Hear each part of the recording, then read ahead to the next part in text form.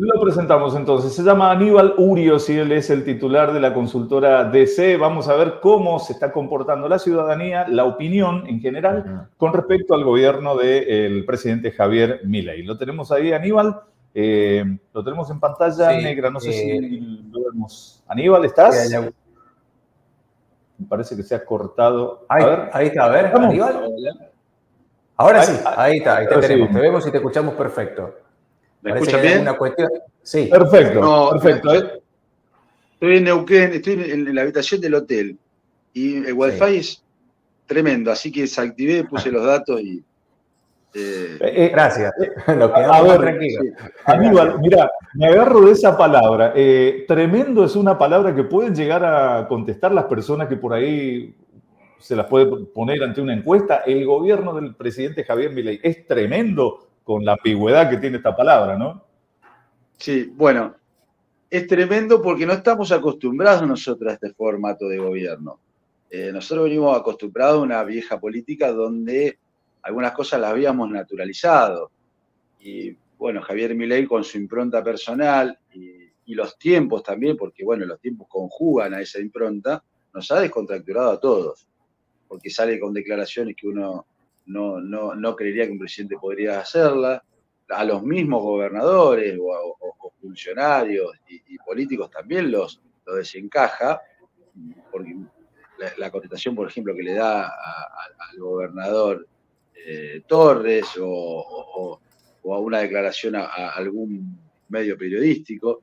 Entonces, ese acomodamiento lo estamos haciendo todos. Eh, entender un poco esto. Ojo, esto es lo que nosotros veníamos pidiendo como sociedad, ¿no? Porque si no, Javier Milei no hubiese ganado las elecciones. Eh, y por eso en esta encuesta última que nosotros hicimos, preguntamos sobre esos dos ejes que la sociedad está demandando hace tiempo, ¿no? Terminar con los negocios de la política versus la inflación. Bueno, bien. ¿Y qué, arrojaron las encuestas? Bueno, en esa pregunta, naturalmente, nosotros no hubo sorpresa porque nos dijo que, bueno, hay un casi 70% que está pidiendo que se resuelva la inflación. No quita que, el otro no sea importante, sino que si uno pone eh, las cuestiones arriba de la mesa, lo que más pesa, bueno, es la inflación. Y el gobierno lo sabe, por eso festeja cuando baja dos puntos, tres puntos la inflación, sale a, festejar, a decir que, bueno, que el ministro está haciendo las cosas bárbaro y que lo que viene va a ser mejor en, ese aspecto. Lo que pasa esa es la, siguiente pregunta que nosotros hicimos, ¿cuánto estamos dispuestos a esperar?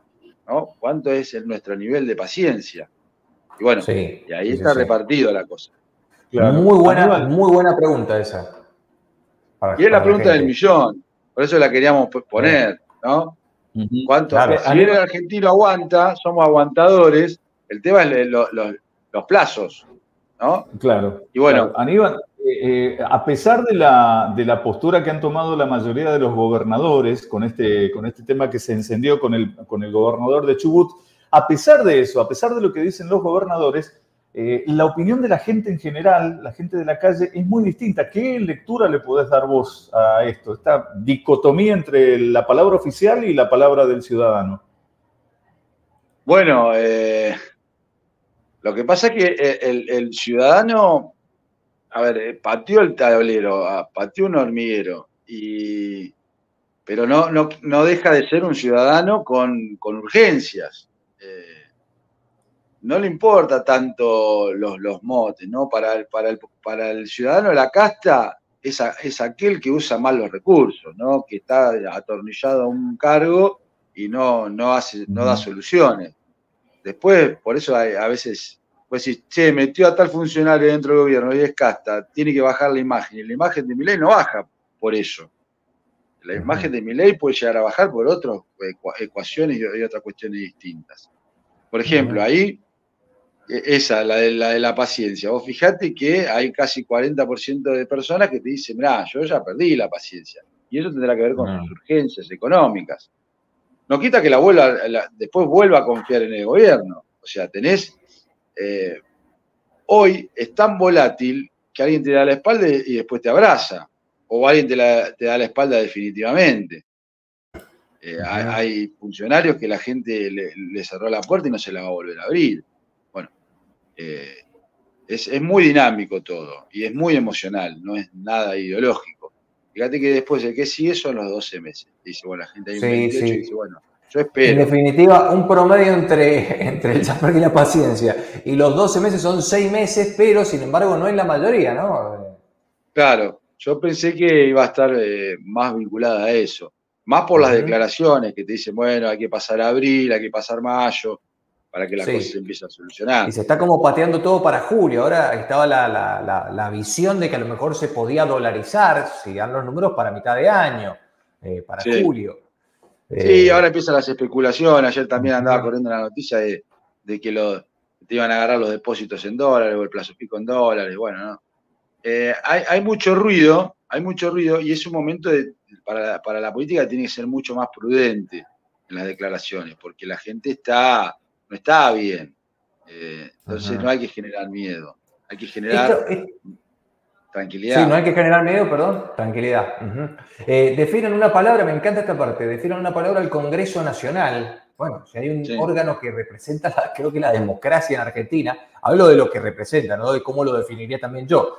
Eh, es el Congreso, ¿no? Y bueno, preguntarle esto a las personas, encontrarse palabras como, no son las más grandes, que obviamente son las más votadas, no, eh, pero, pero en definitiva hay palabras como títeres, títeres, garcas, malandras, zánganos, eh, oportunistas, atorrantes, ratas, bueno, corrupción sí muy votada, ñoquis también mm, bastante marcado, democracia y casta.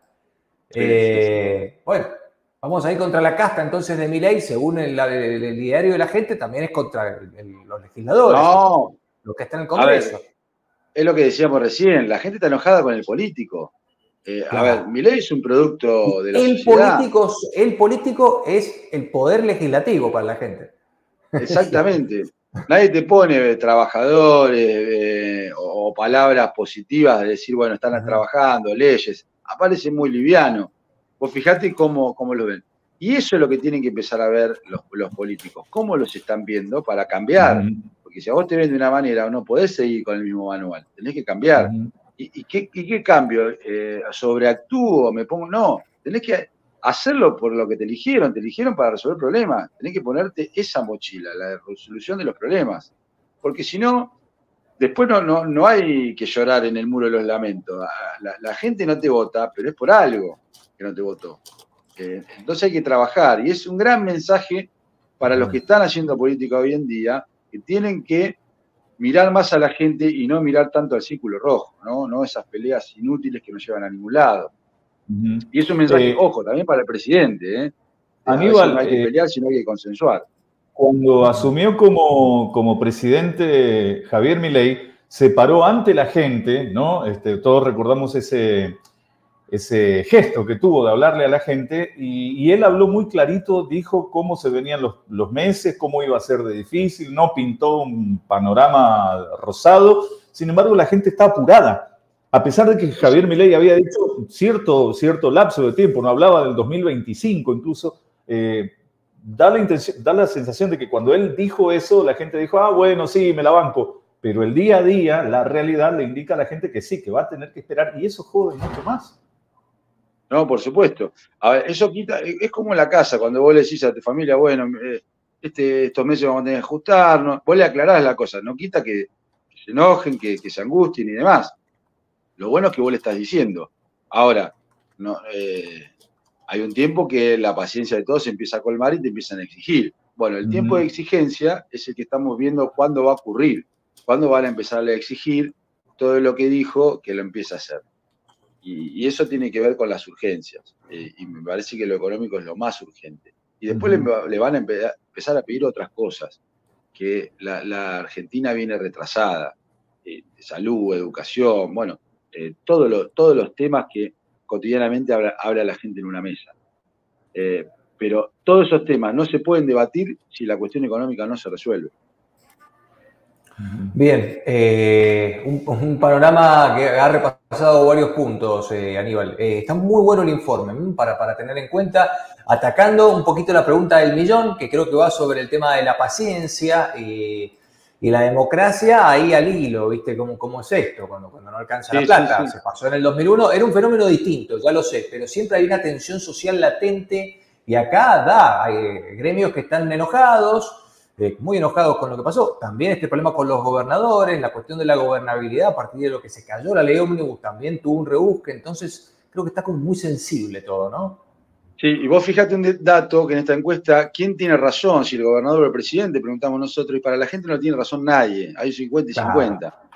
Entonces, y mira, hoy leí una nota que los gobernadores patagónicos, de hecho, bueno, yo estoy acá en la Patagonia, ahora hoy tengo un par de reuniones, me voy a enterar un poquito más, eh, dieron marcha atrás con eso de presionar con el petróleo, ¿no? Entendieron que no era por ahí, ¿sí? Y eso tiene que ver con esto, también leen un poco el, humor de la gente y dicen, no, las peleas no va más. Esa política amigo y enemigo se terminó. Eh, ahora, bueno, eh, trabajarán en cuanto a cómo tender los puentes, sin que ningún lugar salga perjudicado, en la provincia ni nación. Ahí, ahí, han aparecido varios mensajes, Fernando, algunos muy cortitos que hablan sobre que no es la época de Frondizi, se lo dice Gilletta más Mendoza. Y este larguito, este larguito que viene desde el radio, buen día Aníbal Urio, dicen que los primeros 100 días son de romance con la nueva gestión, pero si ya viene con planteos de divorcio, es cierto, la tolerancia depende de cada uno y su bolsillo, que es ahí donde más duele, sobre todo cuando hay niños en la familia, ¿no? Niños y adultos mayores, que es donde más está doliendo. Em, Totalmente una paciencia individual es esto, cada uno soportará lo que puede, ¿no? y, pasa por ahí. Fernando, no sé si vos tenés alguna otra pregunta, creo que ha quedado todo claro con respecto a este sondeo. Aníbal, como siempre, un placer, perdón por sacarte los datos, hay que decirle a la gente ahí de ese hotel de Bariloche que se ponga las pilas, ¿sí? Y un abrazo gigante, en serio. Siempre es un placer hablar con vos. Gracias. No, agradecido como siempre soy yo y les mando un gran abrazo. Un abrazo hasta la próxima. Muchas gracias. Es titular de la consultora DC, es Aníbal Urios. Bueno, estábamos viendo, después de este sondeo, ¿qué dice la gente? ¿Qué se dice puertas adentro del Poder Ejecutivo, ¿no? Javier Milei frente al Congreso y frente a los ciudadanos. ¿Qué es lo que este sondeo pudo dejar en claro?